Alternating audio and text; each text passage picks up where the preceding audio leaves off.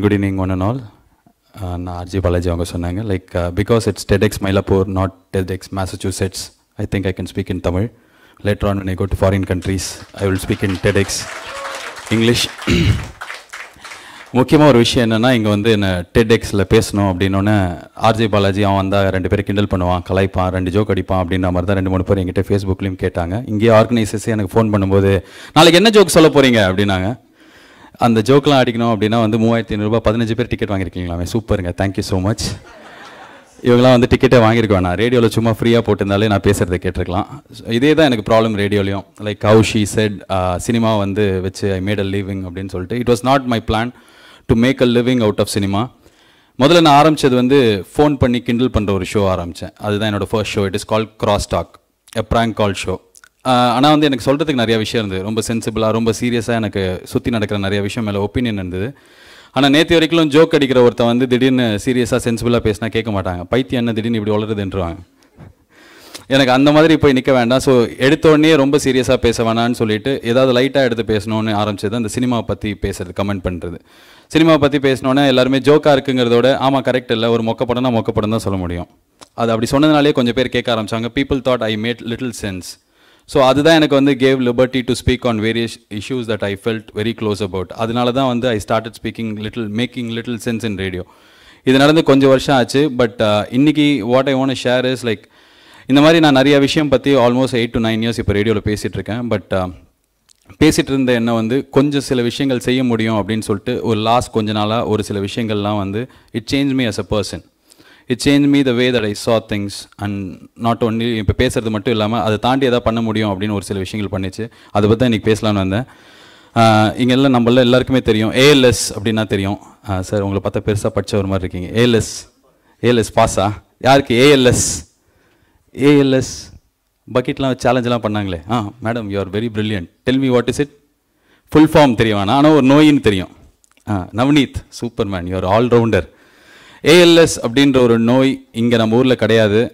இந்தியாலே கிடையாது. இன்ஃபேக்ட் ஏஷியாவில் எத்தனை கண்ட்ரியில் இருக்கணும்னே தெரியாது. ஆனால் இப்போ வந்து இந்த ரூமில் இருக்கிற ஒரு பத்து மண்டை இப்படி இப்படி ஆ ஏஎல்எஸ் தானே நம்ம நோய் அப்படின்ற அளவுக்கு ரொம்ப க்ளோஸாக தெரிஞ்சுது அப்படின்னா அதுக்கு காரணம் என்ன?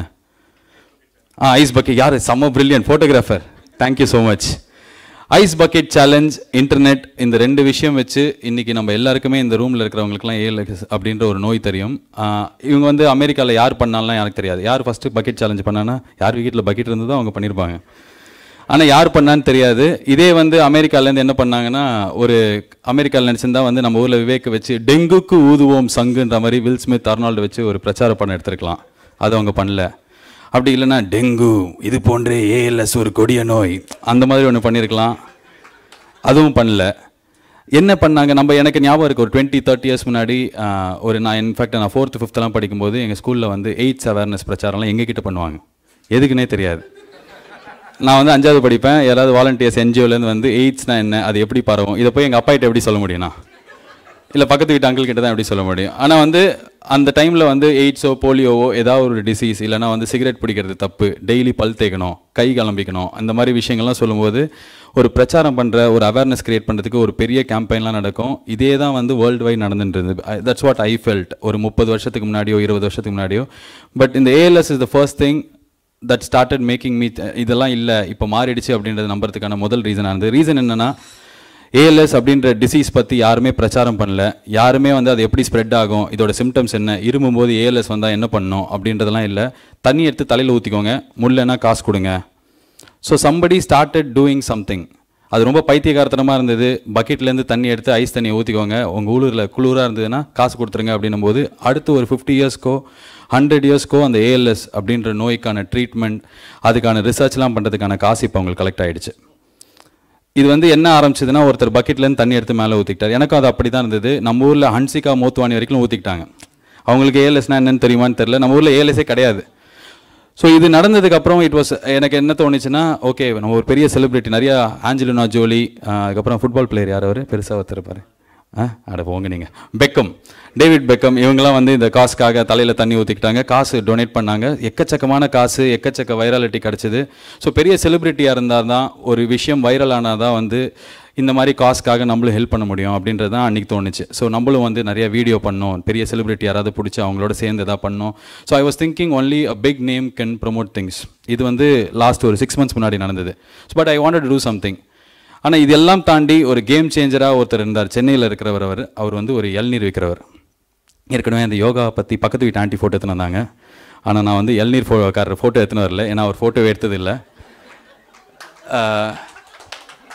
இல்லை இதுக்கு நீங்கள் பக்கத்து வீட்டு ஆண்டிக்கு தட்டுறீங்களா? இல்லை இளநீர்காரருக்கு தட்டுறீங்களா தெரில ஆண்டிக்கு. Very nice you are very open about it so இது இந்த ஏல சைஸ் பக்கெட் சேலஞ்ச் மாதிரி நம்மளும் பண்ணலாம் அப்படின்னு நினச்சிட்டு இருந்தபோது என் ஆஃபீஸ் வந்து ஆஃபீஸ்லேருந்து வீட்டுக்கு போகிற வழியில் வந்து ம ஆழ்வார்பேட் மயிலாப்பூரோட சிஸ்டர் கன்சர்ன் அந்த வழியாக தான் நான் டெய்லி வந்து வண்டியில் போவேன். ஸோ ஒரு இளநீர் கடைக்காரர் வந்து பயங்கரமாக அட்ராக்ட் பண்ணார். யார் இவர் அப்படின்னு தெரியாது எனக்குலாம் ஒரு மூணு நாள் பார்த்தேன். என்ன அப்படின்னா அந்த மூணு நாளுமே அவர் கடையில் வந்து ஒரு ரெண்டு போர்டு இருந்தது.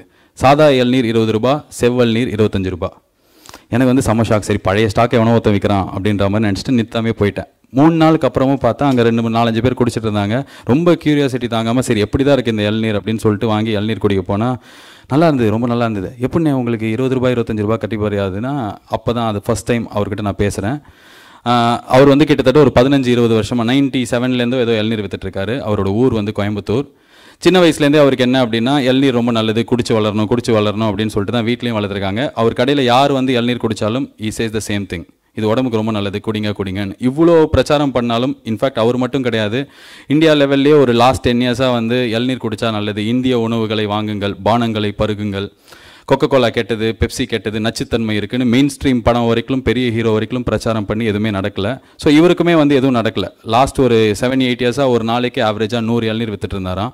என்ன பண்ணுன்னு தெரில ஆனால் எதாவது பண்ணுன்னு தோணுச்சு. ஸோ எனக்கு வர லாபத்தை கம்மி பண்ணிட்டு நாற்பது ரூபாய்க்கு வாங்குற சாரி பதினாறு ரூபாய்க்கு வாங்குற இளநீர் இருபது ரூபாய்க்கும் இருபது முப்பது ரூபாய்க்கு வாங்க ப- இருபது ரூபாய்க்கு வாங்குற இளநீர் இருபத்தஞ்சு ரூபாய்க்கும் விற்கிறேன் இப்போ வந்து எனக்கு நூறு காய் விற்றது இப்போ அறநூறு காய் ஒரு நாளைக்கு விற்குதுன்னாரு எனக்கு செம்ம ஷாக்கு ஒரு சாதாரண ஒரு மனுஷன் ரோட்டில் இளநீர் விற்கிறவர் அவரோட லாபத்தை கம்மி பண்ணி அறுநூறு பேரை வந்து அவர் இளநீர் குடிக்க வச்சிருக்கார். ஒரு பத்து வருஷம் இருபது வருஷமாக நம்ம பிரச்சாரம் பண்ணுறோம் எக்கச்சக்க பெரிய இடத்துல போனால் இந்த கோக்கெலாம் குடிக்கூடாது குழந்தைங்களுக்கு வந்து அது சரியில்லை இப்படிலாம் சொல்கிறாங்க யாருமே கேட்டது கிடையாது. பிகாஸ் கடைக்கு போனால் பத்து ரூபாய்க்கு எனக்கு கூல்ட்ரிங்க்ஸ் கிடைக்குது. ஸோ ஒரு இளநீர் வாங்கணும் அப்படின்னா எனக்கு ஒரு நாற்பது ரூபாய் ஆகுது ஐம்பது ஆகு ஐம்பது ரூபாய் ஆகுது. ஆனால் இருபது ரூபாய் இருபத்தஞ்சு ரூபாய்க்கு இவர் விற்றதில்ல இதை நான் அப்படியே போய் ரேடியோவில் சொன்னேன். பா இந்த மாதிரி ஒரு இளநீர் கிடைக்காரு செம்ம பிஸ்னஸ் டாக்டிக்ஸ் அவருக்கும் வந்து நிறைய காய் விற்குது நிறைய பேர் குடிக்க ஆரம்பிச்சிட்டாங்கன்னு. முடிஞ்சிருச்சு அவ்வளோதான் இது. எக்ஸாக்டாக ஒரு த்ரீ டு ஃபைவ் மந்த்ஸ் ஆச்சு. இப்போ நீங்கள் வந்து சென்னையில் எந்த ஏரியாவில் போய் பார்த்தாலும் ஒரு பத்து கடையில் நாலு கடையில் இளநீர் இருபது ரூபாய் இருபத்தஞ்சு ரூபாய்க்கு போர்டு வச்சுருப்பாங்க. ஒரு சிங்கிள் மேன் ஒரு இளநீர் விற்கிறவர் இஸ் நாட் அ செலிபிரிட்டி அவர் வந்து இன்டர்நெட்டில் இதை வீடியோவாக எடுத்து போடல. அவர் எதுவுமே அதுக்காக பண்ணல. அவர் பண்ண ஒரே ஒரு விஷயம் இன்னைக்கு சென்னையில் தேர்ட்டி டு ஃபார்ட்டி பர்சன்ட் இளநீர் கடைக்காரங்க வேலையை ஸ்லாஷ் பண்ணிட்டாங்க. அவர்கிட்ட ரீசெண்டாக ஒரு ரெண்டு மாதம் முன்னாடி போய் பேசும்போது ஈ த சேம் திங் முதல்ல வந்து எனக்கு வந்து நிறைய பேர் மிரட்டினாங்க கடைக்காரங்களாம். எதுக்கு கம்மி பண்ணீங்க? நீங்கள் கம்மி பண்ணதுனால நாங்களும் கம்மி பண்ணோம். ஒழுங்காக விலையை எங்களை மாதிரியே வச்சு வைன்னாங்க நான் கேட்கல சரி வேறு வழி இல்லை இவனுக்கு அறநூறு காய் விற்குது நம்மளுக்கும் ஏன் விற்கக்கூடாதுன்னு சொல்லிட்டு இப்போ அப்படியே பக்கத்து பக்கத்தில் கம்மியாகி சவுத் சென்னை மட்டும் இருந்து ஆழ்வார்பேட் மயிலாப்பூர் மந்தவழி மட்டும் இருந்தது. நான் பெரம்பூர் போகிறேன் அங்கே இளநீர் இருபது ரூபாய்க்கு விற்கிறாங்க ஆவடி போகிறேன் அங்கே இளநீர் இருபத்தஞ்சு ரூபாய்க்கு விற்கிறாங்க ஸோ ஒரே ஒரு மனுஷன் ஒரு இளநீர் கடைக்காரரு அவர் வந்து ஒரு விஷயத்தை ப்ரீச் பண்ணாமல் பண்ணும்போது அதோட இம்பேக்ட் வந்து எனக்கு ரொம்ப பெருசாக இருந்தது. ஸோ அந்த ஒரு இன்ஸ்பிரேஷனில் நான் வந்து சரி நம்மளும் எதா பண்ணலாம் அப்படின்னு ஆரம்பிச்சது தான் வந்து கைஃபோன் வீடியோ அப்படின்றது வந்து ஏதாவது ஒன்று ஷூட் பண்ணி நல்ல விஷயமா இருந்ததுன்னா அது நாலு பேர் பண்ணுவாங்களே அப்படின்னு சொல்லிட்டு ரோட்டில் சாப்பாடு இல்லாமல் இருக்கிற பிச்சை எடுக்கிறவங்களுக்கு நம்ம மேக்ஸிமம் ரெண்டு ரூபா போடுவோம் அஞ்சு ரூபா போடுவோம் இல்லை முன்னாடி ட்ரெடிஷன் படி பழைய சாதம் கொடுப்போம். சரி இவங்கெல்லாம் என்றைக்காவது பிரியாணி சாப்பிட்ணுன்னு ஆசைப்பட்டிருப்பாங்களேன்னு சொல்லிட்டு ஒரு பத்து பேருக்கு பிரியாணி வாங்கி கொடுத்தோம். ரொம்ப சின்ன ஒரு சப்ப விஷயம் தான் பத்து பிரியாணி போட்டலான்றது. இதே தான் எல்லோரும் வீடியோ போட்டோன்னு சொன்னாங்க கீழே. பப்ளிசிட்டிக்காக இவன் பத்து பிரியாணி பிரியாணி வாங்கி கொடுக்குறான். நிறைய பேர் சொன்னாங்க ஏன்னா நம்மளோட ட்ரெடிஷன் படி வலது கை கொடுக்கறது இடது கைக்கு தெரியக்கூடாதுன்னு வாங்க நல்ல விஷயம் பண்ணால் வெளில சொல்லக்கூடாதுன்னு வாங்க இந்த பத்து பேர் திட்டுறாங்க பத்து பேர் பப்ளிசிட்டிக்காக இவன் பண்ணுறான்னு சொன்னதோட ஒரு ரெண்டு பேர் வந்து நானும் வாங்கி கொடுத்தேன்னு சொல்லிட்டு எனக்கு வீடியோ போஸ்ட் பண்ண ஆரம்பிச்சாங்க. இப்போ வரைக்கும் வேர்ல்டு வைட் நான் பிரியாணி வாங்கி கொடுத்த அந்த வீடியோ வந்து பார்த்ததுக்கப்புறம் ஒரு எண்ணூறு தொள்ளாயிரம் பேர் கிட்ட மெயில் அமைச்சிருக்காங்க வீடியோஸ் அமைச்சிருக்காங்க. நியூசிலாண்டில் என் ஒய்ஃபுக்கு ஃபஸ்ட்டு சம்பளம் வந்துருச்சு. நாங்கள் முந்நூறு பேருக்கு அங்கே பசி ஆத்தினோம் அப்படின்னு சொல்லிட்டு ஒரு மெயில் அமைச்சார் ஆந்திராவில் இருக்கிறவங்க அதே மாதிரி கோயம்புத்தூரில் இருக்கிறவங்க ஸோ இன்டர்நெட்டோட ரீச் வந்து எனக்கு அங்கே யூஸ் ஆச்சு. பட் ஸ்டில் என்ன அப்படின்னா ஏழைகளுக்கு சாப்பாடு வாங்கி கொடுங்க அப்படின்றது தான் ஐடியா அது யாராவது நம்ம ரொம்ப நாளாக கேட்டுட்டு இருக்கோம். தமிழ் படத்தோட ஹீரோவோட ஓப்பனிங் சாங் எடுத்தாலே வந்து எழுநூற்றி பதிமூணு தாட்ஸ் இருக்கும். அட்வைஸ் இருக்கும். இந்தியாவை படிக்க வைங்க பாகிஸ்தானை திருத்துங்க தங்கச்சியை கல்யாணம் பண்ணி வைங்க அம்மாவை இங்கே ஊருக்கு அனுப்புங்கன்ற மாதிரி. இதை நம்ம பார்த்துட்டே இருக்கோம். ஏன்னா எல்லாருமே எல்லாத்தையும் சொல்லிகிட்டே தான் இருக்காங்க. நான் ஃபர்ஸ்ட் டைம் அதை பண்ணும்போது இன்னும் கொஞ்சம் இம்பாக்ட் ஜாஸ்தியாகும் அப்படின்றதுனால இது பண்ணோம். அண்ட் அல்டிமேட்டாக நடந்த விஷயம் ஆர்கன் டொனேஷன் அப்படின்றத பற்றி ரொம்ப நாளாக ஏதாவது பண்ணணும்னு எனக்கு ஒரு இது இருந்தது. ஆனால் அதுவும் அகைன் ப்ரீச் ப்ரீச் பண்ணுற மாதிரி ஆகிடக்கூடாது அட்வைஸாக இருக்கக்கூடாதுங்கிறதுனால ஒரு குழந்தைக்கு வந்து ஹார்ட் தேவை அப்படின்றது தெரிய வந்து அந்த குழந்தையை போய் பார்க்க போனோம். பார்க்க போயிட்டு அந்த குழந்தை பாருங்க இந்த குழந்தை எவ்வளோ கஷ்டப்படும் அப்படிலாம் இல்லாமல் நார்மலாக ஒரு அஞ்சு வயசு குழந்தைகிட்ட எப்படி பேசுவாங்களோ அதே மாதிரி பேசி அதை ஷூட் பண்ணி இன்டர்நெட்டில் போட்டோம். இட்ஸ் அன் ஐடியா ஐடியாவோட நிறுத்திட்டு அந்த குழந்தைய போய் பார்த்துட்டு இல்லைங்க பாருங்கள் நிறைய குழந்தைங்க கஷ்டப்படுது ஆர்கனை டொனேட் பண்ணுங்க அப்படின்னு சொல்லியிருந்தா எத்தனை பேர் அதை பார்த்துருப்பாங்கன்னு தெரியாது. ஆனால் எக்ஸாக்டாக அந்த டெண்டுல்கரை திட்டுற மாதிரி அந்த வீடியோக்கு பேர் வச்சுருந்தோம். ஏன்னா வந்து காவியான்ற குழந்தைக்கு ஹார்ட் தேவை பாருங்கள் அப்படின்னா நீங்களே வந்து ஐயா என்னது அது போரிங் அடுத்தது போ அப்படின்ற. So RJ Balaji abuses Sachin Tendulkar அப்படின்னு அதுக்கு பேர் வச்சு அதை இன்டர்நெட்டில் போட்டோன்னா ஊர் உலகமே எப்படி அவன் டெண்டுல்கரை திட்டலாம்? அப்படின்னு பார்க்க ஆரம்பித்தாங்க நல்ல வேலை டெண்டுல்கர் பேர் வச்சேன். இன்னும் நிறைய இந்தியாவில் மற்ற ஊரில் இருக்கிறவங்களும் பார்க்க ஆரம்பிச்சாங்க. எக்ஸாக்ட்லி ஒரு டூ வீக்ஸில் அந்த குழந்தைக்கு டோனர் கிடச்சி அந்த குழந்தை வந்து இன்னைக்கு ரெக்கவர் ஆயின்னு ஒரு குழந்தைக்கு ஹார்ட் கிடச்சிது. இதில் வந்து என்னோட விஷயம் நான் தான் பண்ணினேன் அப்படின்ற ஒரு பெருமை பேச்சு இல்லாமல் நான் கற்றுக்கிட்ட ஒரு விஷயம் என்ன அப்படின்னா டெட்டோட வந்து நான் நான் பா இந்த இங்கே வந்து பேசணும் அப்படின்னா I was browsing through the videos அந்த சைட்டுக்கு போனோடனே ஐடியாஸ் வேர்ட் ஸ்ப்ரெட்டிங்னு வரும்.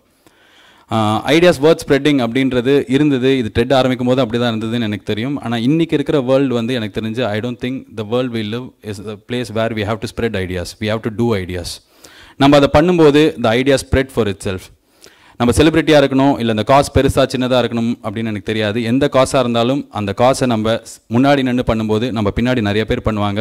You just have to do it and rest of it it will get அதுக்காக இங்கிலீஷில் வரல. என்னது எக்ஸாக்டாக பஞ்ச் டைலாக் அந்த ஐடியாவே அதை பார்த்துக்கும் அது பெருசாகும். So don't just keep talking please do it thank you